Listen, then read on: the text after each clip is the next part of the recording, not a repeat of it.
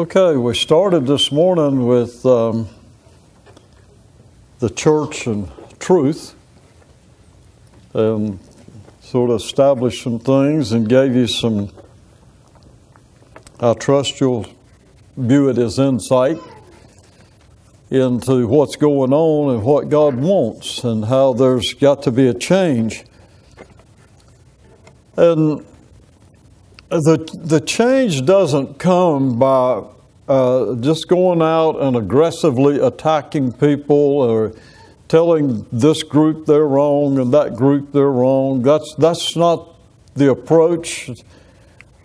The approach is when we have a platform, when we have an opportunity, whether it's one on one or whether it's to a group, whatever, that we speak the truth in love. Here again uh, is the, the door of opportunity opening and us taking advantage of the opportunity that's been given to us. You, you understand that? Because a lot of people say, well, we just need to change the world. The church has to do something. The church needs to go do this and go do that. And I've been thinking this afternoon, it, it's interesting um, just the way people think. And I'm talking about just religious people, especially conservative people who would like. Um, for the government to make right decisions and Congress to do the right things and support the, uh, uh, appoint the right judges and all this type stuff. But now here's where you are. It's not your decision. They're not going to ask you to vote on it. You with me? The people that have been voted into office are going to make decisions. Now, if we voted the wrong people into office, shame on us. But it is what it is once it's there. Okay? And so our role is to intercede for the nation. Our role is to pray. Our role is not to sit around and talk politics and talk about what could be, should be, and all that because all it's going to do is make you mad. You understand? You you sit there and you, you watch these hearings, you watch the TV, you watch this, you watch that. All it does is stirs up an anger on the inside of you, and it's not righteous indignation, it's just getting mad. Nothing good comes out of that. So, what do we do? Bloom where we're planted. We do all we know to do. We do what God gives us the opportunity to do we stand our ground. And, and this is not, it's not all talk, it's, it's lifestyle. It's how we live our lives in front of people. There's a consistency. Our behavior needs to match our conversation. And this is where the church has failed. It's been um, superficial, it's, it's talk stuff, but when you pull the curtains back, what you're seeing is just the world. And I'm telling you, in the modern day church, you're just seeing the world in the church. They're just, you know, a religious group and talking about things that they're not living. But we're not going to be like that, are we? Now, what I'd like to do this evening is I, I mentioned as, at the closing this morning, there is a way that seems right to a man. But the end of that way is death. And so it is with a church that's abandoned the truth. You have a religious form that will lead people to death. And I'm talking about a spiritual death. That's even worse. In Matthew chapter 7 and verses 13 and 14, if you want to turn there, we'll, we'll look at that and then um, I just want to share some things that, that I, I really believe the Lord uh, revealed to me concerning uh, this passage of Scripture. And it sort of excited me to finally learn what it meant after all these years. but in Matthew chapter 7, Jesus doing the speaking, uh, verse 13, he says, Enter in at the strait or the narrow gate. because broad or wide is the gate, and spacious or wide is the way that leads to destruction. And many are going in thereby. The spacious way, the wide way, the broad way.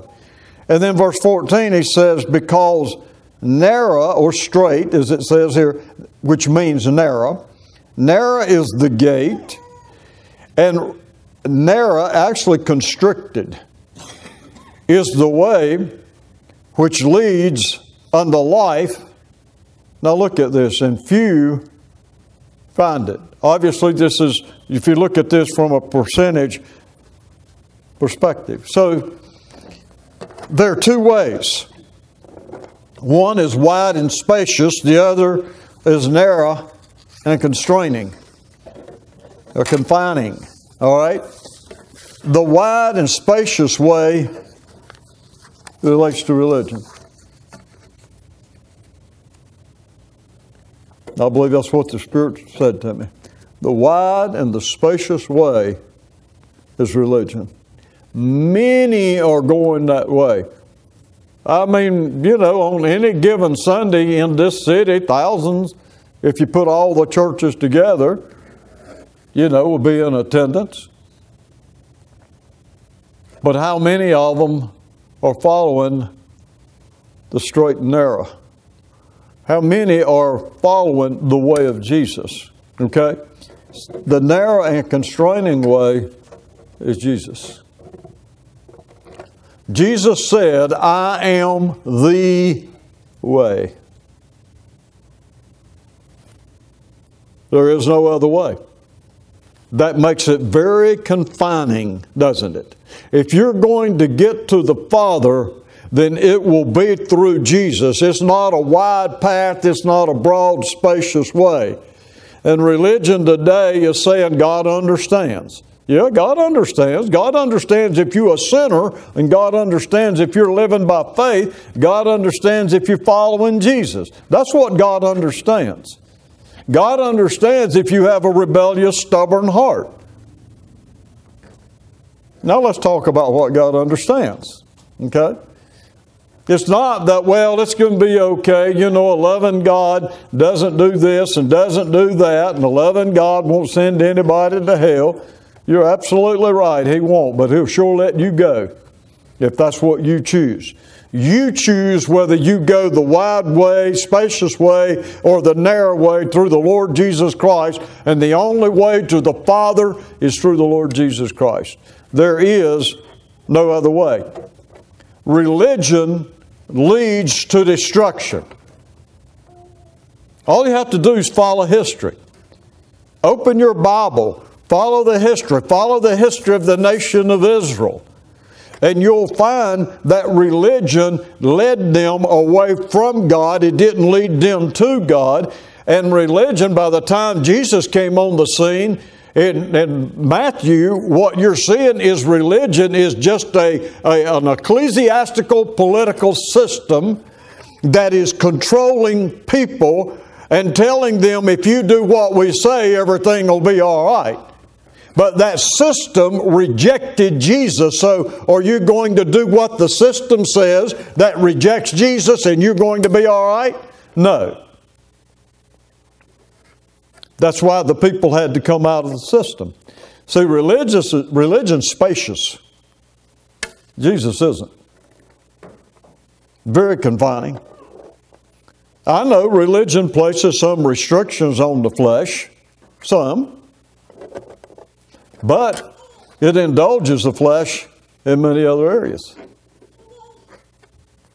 As a matter of fact, if you look at just the average church, and I don't care what the denomination is, if you just look at the average church, you're going to find that mainly what they're doing is flesh related, not spirit related. Now, I'll let you think about it. The activities, flesh related, not spirit related. Even the things that go on in a service are flesh related rather than spirit related. It's to appeal to emotion in a lot of cases or to appeal to intellect in other cases, depending on which type church you're in. And both are things of the flesh. I know there's true emotions ordained by God, but that will be stimulated by the Spirit. And there's a difference. Okay?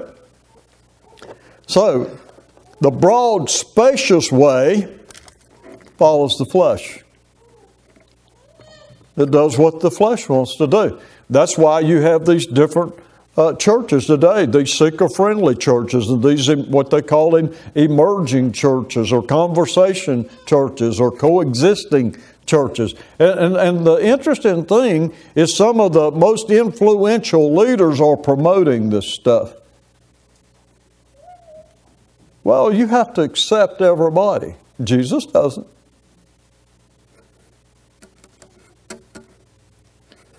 And they don't either. See, they, uh, they violate their own doctrine. They'll accept Islam, but they won't accept people who are led by the Spirit of God speaking the truth of God. You with me? They'll coexist in things of the flesh, but they won't in things of the Spirit. Because God and Satan don't coexist. You understand? God and carnality don't coexist. Spirituality is totally different than carnality. So how they don't agree, so how can they live together? As a matter of fact, the eighth chapter of Romans says that carnality is hostile toward God. Now it's interesting that it says it that way. It doesn't say that the spirit is hostile to the flesh. But the flesh is hostile to the spirit. Those who are walking in the spirit don't go out here and attack the, the, the natural, but the natural will attack those who are being led by the spirit. Have you ever noticed that? That's why we made the statements that we did at the beginning. God is not calling us to just bear arms and go overthrow the government. In case you haven't figured this out yet, you're not a citizen of this kingdom, you're a citizen of the kingdom of God. God's kingdom is to be ruling our hearts. We're to come under the constitution of God. We're to be thinking about God, not out here fighting people to no avail, I might add, that don't agree with the constitution of the nation. Now, I'm saying this, and I would be pegged as a constitutionalist. You understand? I would be pegged as a patriot. But I can tell you this my allegiance is to the Lord Jesus Christ. God has not called me to fight natural. We pray daily for the United States of America. You understand? And I believe that the weapons of our warfare are not carnal, not natural, not fleshly, but they are mighty through God to where we can pull down strongholds. We can do it in the spirit realm. Have you ever read Daniel?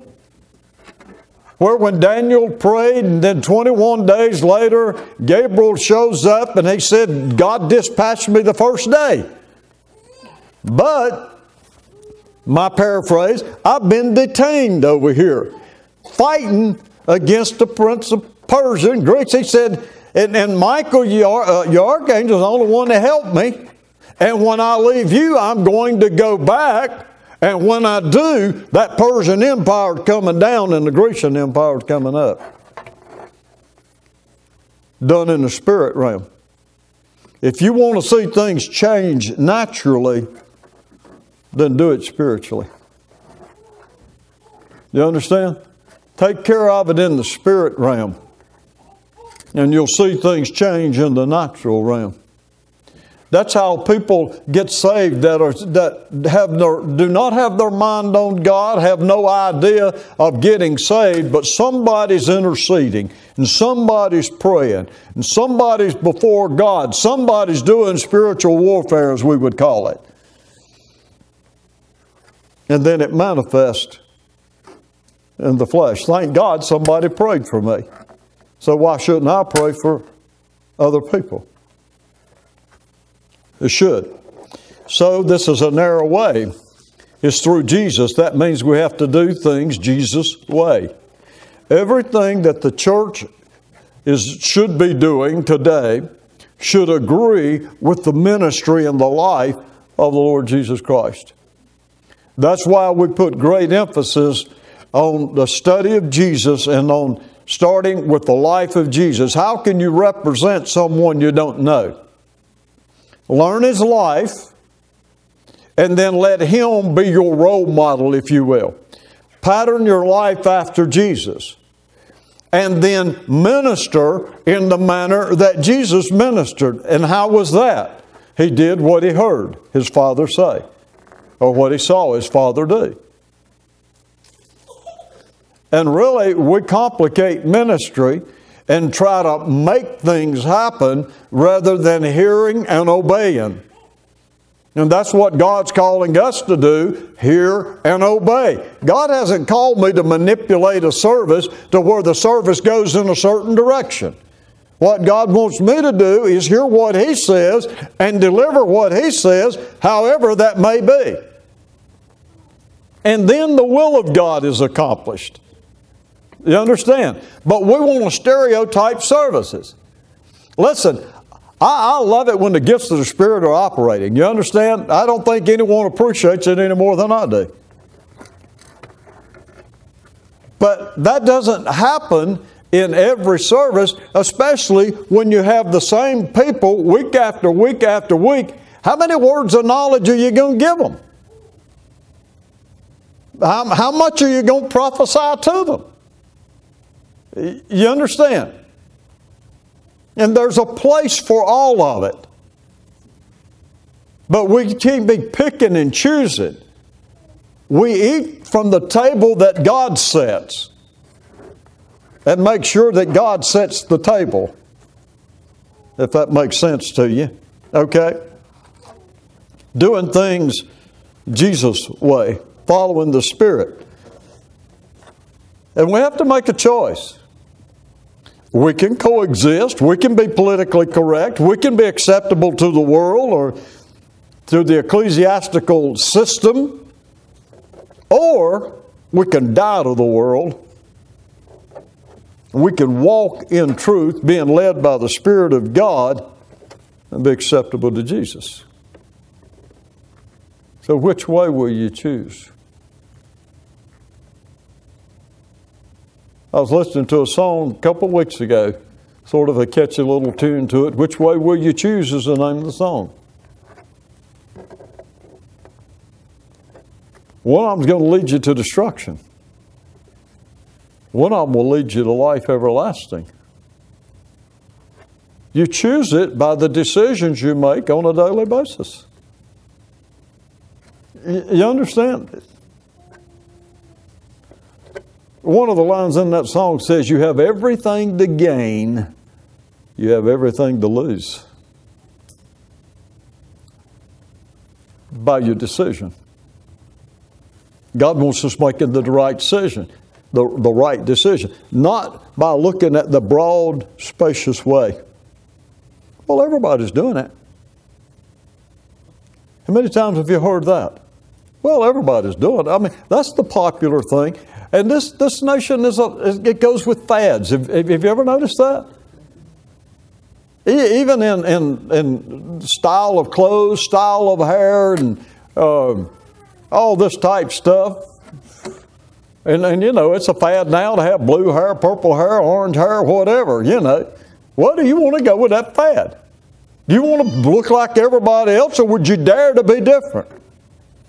And God has chosen a people who will dare to be different in all aspects of their life. I'm going to tell you right now if you get your heart right with God, the outside will display what's on the inside. And I can, I can look at people and I can say, I, I can just walk by and I'm not their judge, but I'm not stupid. I can say, well, that person has a heart problem. not right with God. Because if they were, they would be embarrassed by how they present. And we're in a world today to where there's not just a whole lot of shame anymore. That amazing? A broad way. But the church say, says accept it. The modern day church, not the body of Christ. The body of Christ says accept Jesus and accept Jesus' way. Love the sinner, hate the sin. Love the sinner enough to pray for the sinner, but never condone the sin of the sinner. And never be shy in taking a stand against these obvious, obnoxious sins. Where there's no question as to whether or not you accept or reject that lifestyle. You love the person but you hate the sin. And so you love the person enough to pray for them. Not you can't jerk the slack out of them. You can't beat it into them. You can't beat the devil out of them. you understand? You love them. And you give them something they would want. All religious systems, whether they're traditional contemporary uh, friendly seekers and all this type stuff for emerging systems, they're going to lead one to his own demise. You may go in and enjoy your donuts and coffee, but what's your spirit being fed? I mean, you know, they may give you a good covered dish, but are they feeding your spirit? And I, will tell you a trend that I'm seeing, and, and um, if I thought about it, it, it would really bother me. But I've observed this in church how people come into church with their snacks, or in some cases with their McDonald's sack. And I, am I've seen it with my own eyes, I've experienced it. This is not hearsay. And you're going to sit there and feed the flesh and expect the spirit to grow. That's not going to happen. You're going to have to choose whether you're going to go for the flesh or for the spirit. And when you have the opportunity to get into the presence of God, forget the flesh, feed the spirit. There'll be a time that you can feed your body, but I can tell you right now, the house of God is not the place to feed it. And I know people would come back and say, Well, I am the house of God. Really? We'll clean it up. Make it look like a house of God.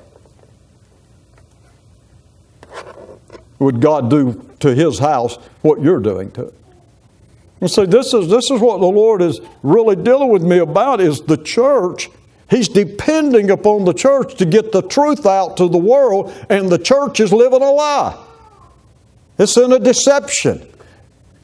It thinks it's righteous and holy, but it's not following the principles of God. It's not following the Word of God. It's not being led by the Spirit. It's going down a broad way, and anyone that follows that way is going to be destroyed. So if a person followed you, where would they go? Would they get closer to God? If they followed your lifestyle, just watching you on a daily basis and followed your lifestyle, would they get closer to Jesus Christ? That's what the church of Jesus Christ is going to have to evaluate. We are leaders. I don't care what your position is. If you're a member of the body of Christ, you're leading to, in some capacity. Where are you leading them? God wants us to lead people to Him. And any other way than Jesus is a deception. And when I say Jesus, I'm not talking about just message, I'm talking about lifestyle. Any other lifestyle beside the lifestyle that Jesus would live is a deception. Jesus was sold out to his Father.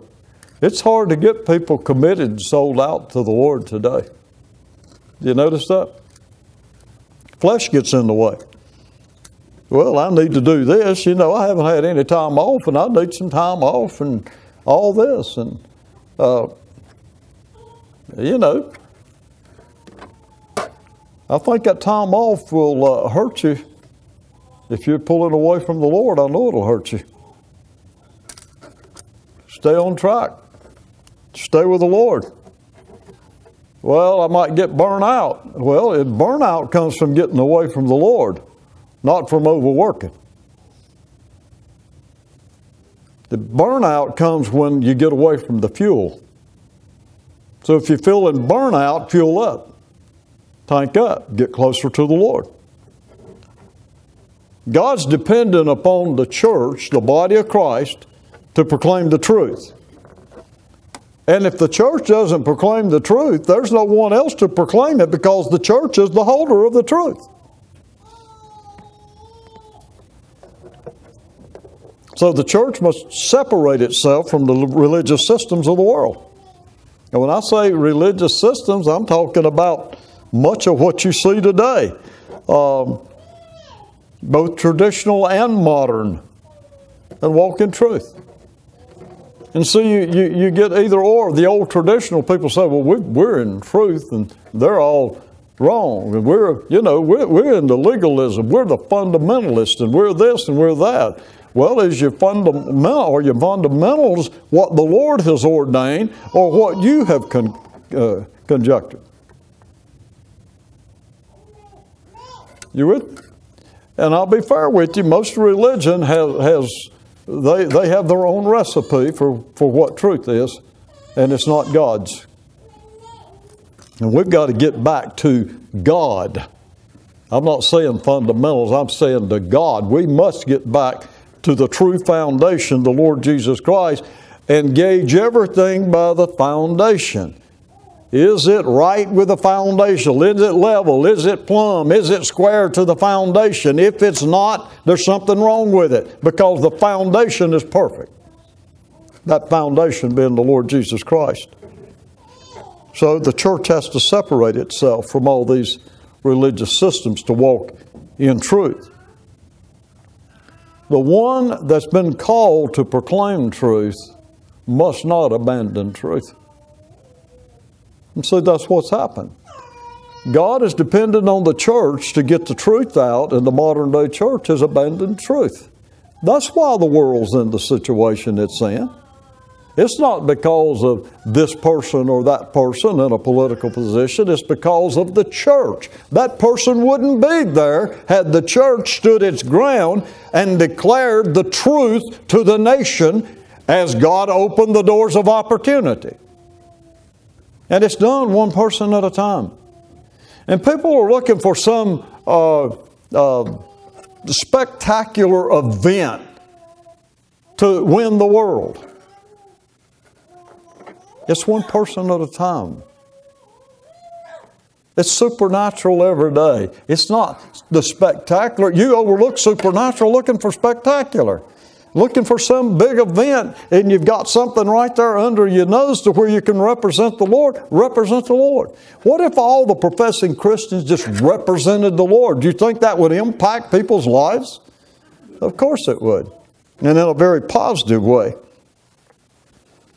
God expects and requires the church to walk in truth.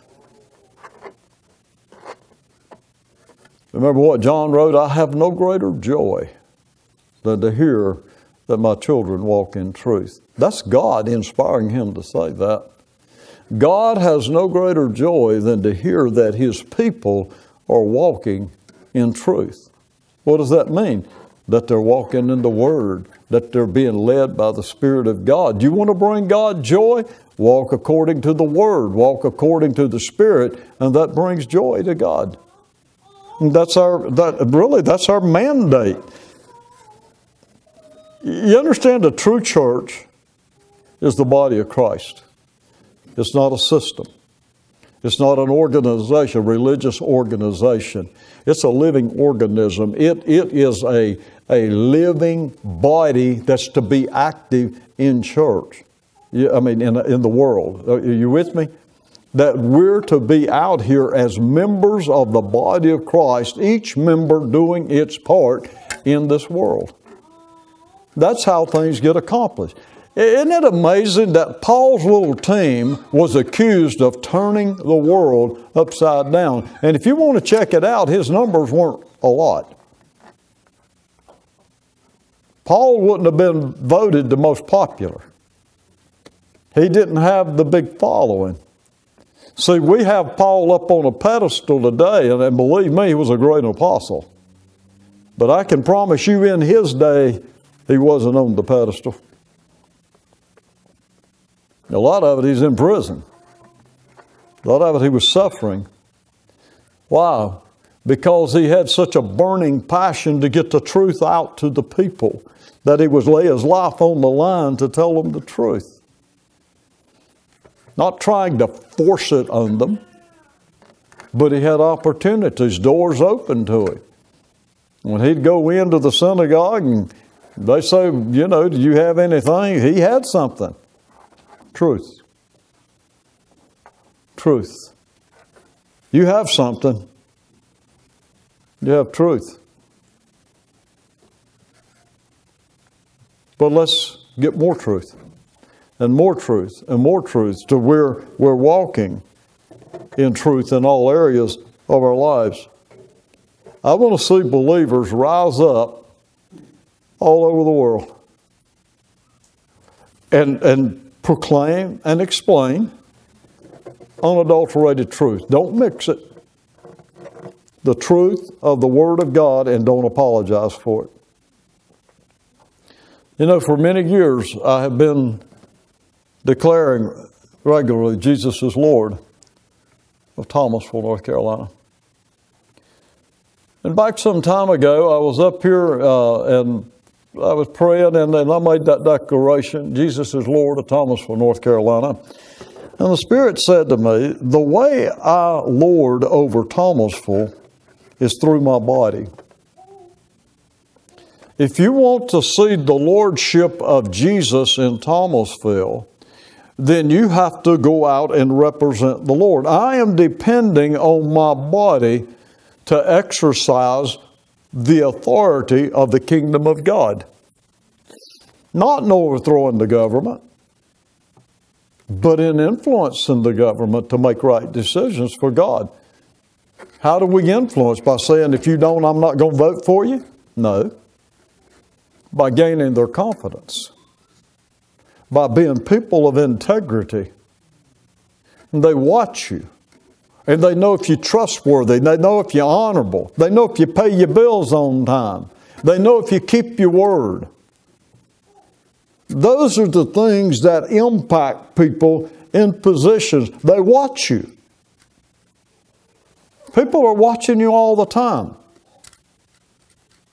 Are they seeing truth or are they hearing one thing and seeing something else? Do they see a consistency in our lives? People must see a, consist, a, a consistency in our life. It's not that we're one thing on Sunday and another thing on Monday. But we're to be the same everywhere to where we're being led by the Spirit. We're being dominated, if you will, by the Word of God. That just simply means the Word has dominion over us. To where we stay submitted to the Word. And when God speaks something to you that's uh, different than what other people are doing, you don't criticize other people for doing it. You just do what God's told you to do. You understand? You know, there, there was a time when uh, the Lord said to me, and I was I was uh, dressing very casual. And the Lord said to me, "You're too casual." And then He said, "You're a diplomat, dressed like it," and I mean very firm. And I knew exactly what He was saying: ambassadors for Christ. We're representatives of Christ. You know, an ambassador is a diplomat. And that ambassador is presenting, wherever he goes, he's presenting the nation, not just himself.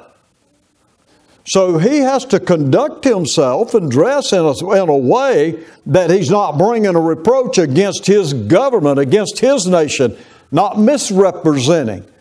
And what the Lord was saying to me personally was I wasn't a very good representation by His standard.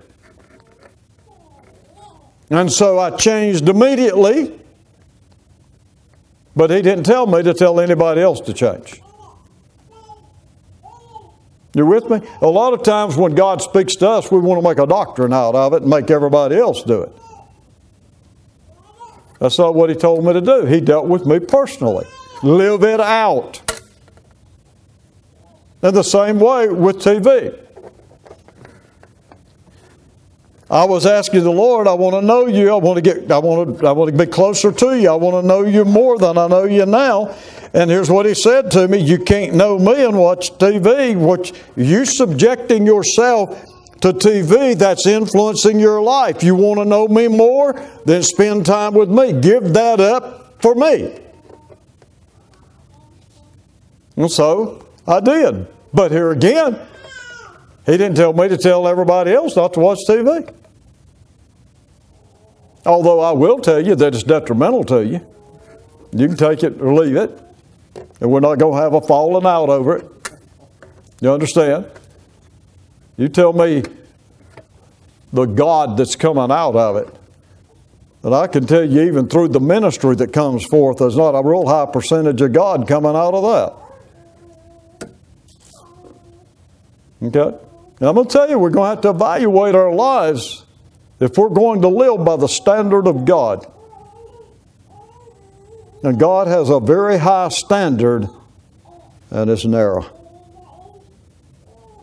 You understand? It's very constraining. So you can't be like everybody else. You have to be different. That's what he wanted out of the nation of Israel. He wanted them to be different from any other nation. But they wanted the spacious way. The law was too confining. God's way was too confining for them. And in the modern day society now, we say Jesus' way is too confining.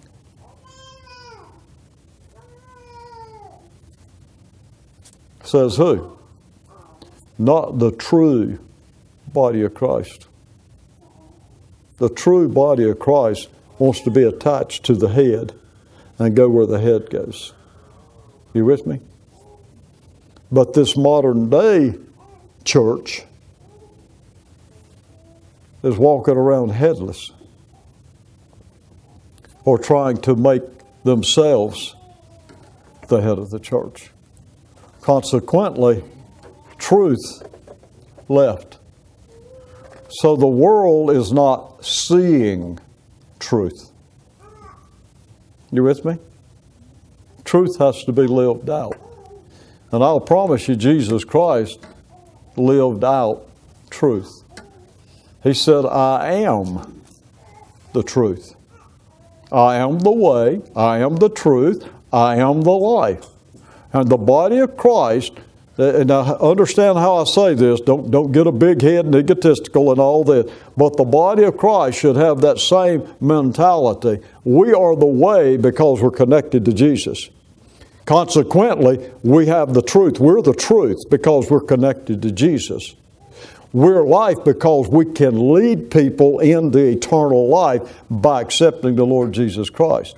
We are the representative in the earth, the representation of truth but are we living it? That's the question. And I can tell you that it is a very disciplined lifestyle. Because flesh will scream, Pepper me, pepper me. Give me some attention. I need my time. And I deserve it. what a lie. And all it's trying to do is take you away from the eternal life that God has you destined for. It's just trying to pull you away. That God had a beautiful life ordained for Adam and Eve. But because they put attention on the flesh, they missed the beautiful life. God has a beautiful life ordained for the body of Christ. Let's not miss it. Let's not choose the wrong tree. But let's go with the strait and narrow, not the wide and the spacious. Amen? Okay. That's the church and truth. We're responsible for getting the truth out to the world by demonstration. Let's do it. Father, I thank you that you bless us indeed. You enlarge our territory. Your hands with us to keep us from evil so that we do not cause pain. And I thank you for blessing us and keeping us and for making your face to shine upon us and being gracious unto us. You lift up your countenance upon us and you give us peace. So, Lord, we gladly invite you to rise up. Let your enemies be scattered and let those who hate you flee before you. Amen. Amen.